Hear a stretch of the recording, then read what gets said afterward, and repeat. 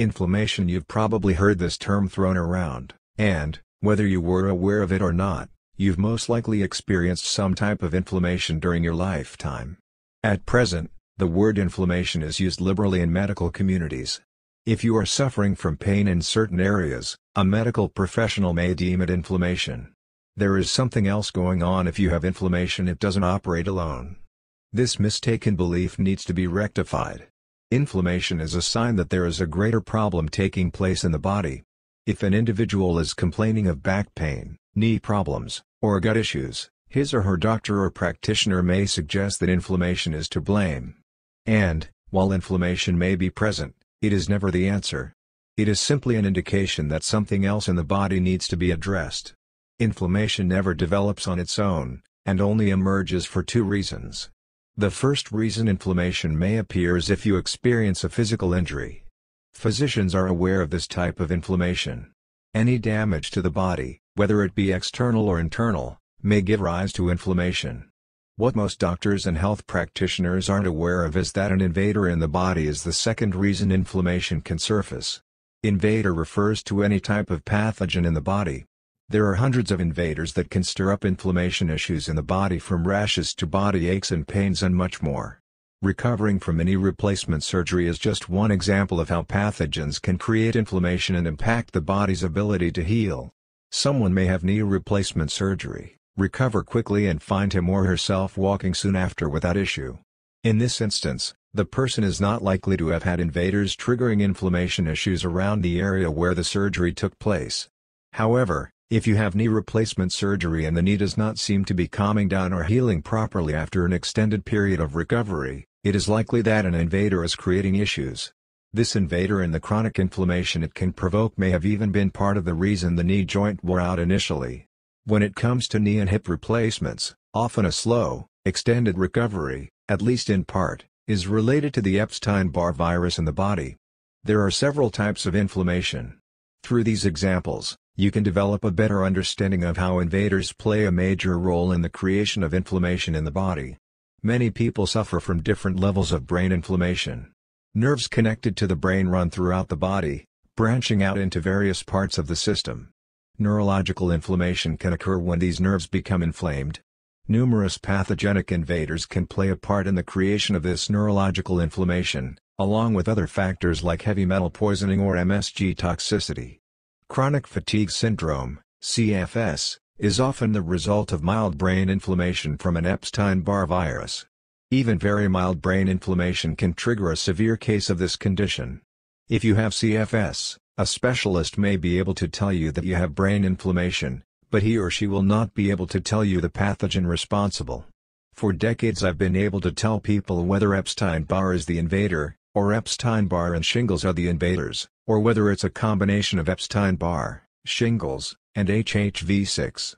Inflammation in various organs can lead to major health issues, but it's the pathogen or injury that is the true cause of these issues. Liver inflammation is an issue with extreme frequency. Liver inflammation is often the result of pathogens wreaking havoc in this organ. An invader can cause a number of problems including triggering elevated liver enzymes. If particular damage is seen on an MRI or CT scan, someone may be handed a hepatitis C diagnosis. Although medical communities know that hepatitis A, B, C, and D stem from viral issues, what medical research and medical science do not know is which virus is creating these issues. They have no clue that the cause of hepatitis C is Epstein-Barr creating damage in the liver for an extended period of time because they have yet to single out the particular bugs that are triggering these issues. Instead, the medical profession has to rely on non-inflammatory markers in the blood or MRs and CT scans to classify a hepatic liver at different stages of inflammation. What they have not yet realized is that inflammation is not the answer. The true answer is that Epstein-Barr virus, sometimes along with other herpetic viruses, are creating the inflamed liver. A inflammation can arise from a number of different bacteria getting into this organ. You can pick up a sty, Staph or come down with the flu just from touching door handles in public places and rubbing your eyes. Glaucoma stems from a mutated variety of the Epstein-Barr virus that triggers eye problems. Other types of inflammation you may experience include skin inflammation, gut inflammation, or colon inflammation. A number of invaders can enter the gut, wreak havoc, and trigger inflammation. For example, if you suffer from small intestinal bacterial overgrowth, SIBO, you most likely have streptococcus in your system that is creating inflammation and other issues in the gut. Various viruses and bacteria can sit inside the colon and stir up major issues. Some of the viruses you may be dealing with include a variety of the shingles, a strain of Epstein-Barr, a mutated HHV6 virus, cytomegalovirus, undiscovered HHV10, HHV11, HHV12 or another of the many herpetic viruses in existence. Conditions connected to colon inflammation can have a number of different instigators. If you suffer from colitis, a variety of the shingles virus is often the culprit. Inflammation can also occur if you catch a flu. If you are only experiencing cold-like symptoms you may think you have a rhinovirus, but these viruses no longer exist. The flu, which has globally taken over, now emerges approximately every two months, and can trigger severe inflammation. It can trigger inflammation in the sinuses, chest, lungs, and gut and may give rise to issues such as bronchitis, a serious cough, and severely weakened adrenals.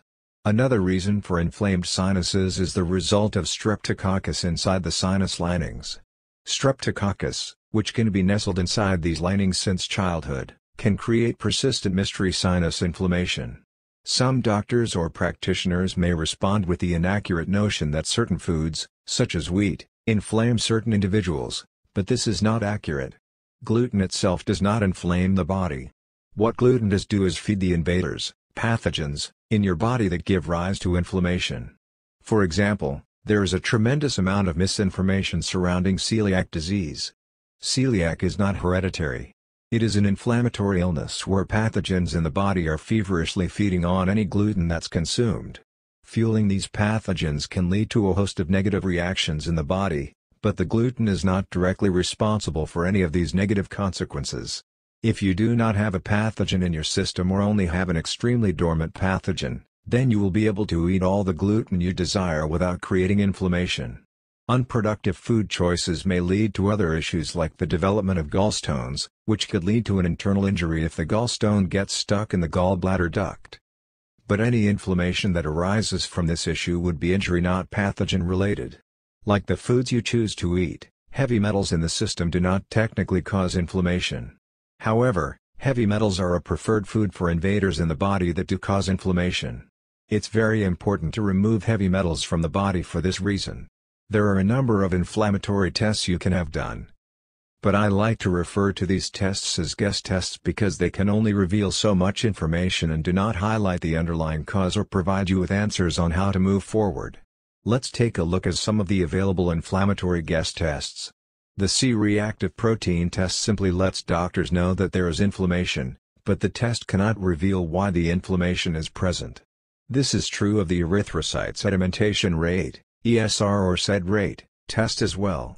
Once doctors use these tests to establish that you have inflammation, they are likely to hand you a label, but will not be able to provide you with a cause or sufficient answers to help you heal. The plasma viscosity, PV, test, IgA and IgG tests, and the antinuclear antibody test, ANA, are some other tests that may help to reveal inflammation in your body, but will not provide you with any additional insight into the true cause. When you are working to reduce inflammation, the more anti-inflammatory foods you can bring into your diet the better. Garlic, which helps kill pathogens, is an excellent anti-inflammatory food. Figs can kill pathogens in the gut, making them an incredible anti-inflammatory option as well. If you have a number of pathogens in your system, it is best to not eat too many figs in one sitting because of the strong detox reaction you may experience. Like figs, Kiwis work in the gut to help destroy pathogens. The antipathogenic properties in lemons and limes are powerful, so make sure to squeeze these citrus fruits in water, on salads, and in your favorite sauces and dressings. If you are suffering with inflammation and think you may have a bacteria, parasite or virus of any kind, bring plenty of pears into your diet. Their anti-inflammatory attributes can be incredibly beneficial. Papaya can be a particularly powerful food if you are suffering from gut inflammation. Apples, wild blueberries, and leafy greens such as lettuces, arugula, and kale are other wonderful, pathogen-fighting foods that consequently help lower inflammation. Peaches, Plums, nectarines, melons, mangoes, and cherries are even more flavorful anti-inflammatory recommendations. Some pathogen-destroying, anti-inflammatory herbs to incorporate into your diet include rosemary, thyme, sage, and oregano. Another supportive food to bring in regularly is aloe vera. Nettle leaf and lemon balm are wonderful anti-pathogenic supplement options. Licorice root, another anti-inflammatory choice, is especially good at fighting off herpetic viruses. Bringing in a licorice root supplement or regularly drinking licorice root tea can be a powerful step. As you bring more life-giving, anti-inflammatory fruits and veggies into your diet, it is beneficial to begin eliminating the foods that feed the pathogens that trigger an inflammatory response. Foods to remove from your diet while you heal include wheat, gluten, and dairy such as milk, cheese, butter, kefir, and yogurt. Other foods to exclude if you have inflammation or think you may be inflamed are eggs, pork, canola oil, and corn. Thank you for watching this video, please subscribe to our YouTube channel.